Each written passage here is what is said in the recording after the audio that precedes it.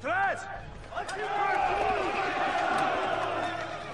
Three weeks from now, I will be harvesting my crops. Imagine where you will be. And it will be so. Hold the line! Stay with me!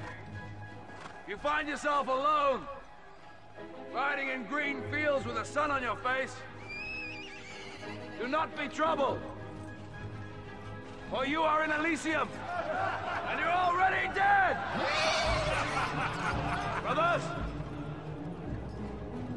What we do in life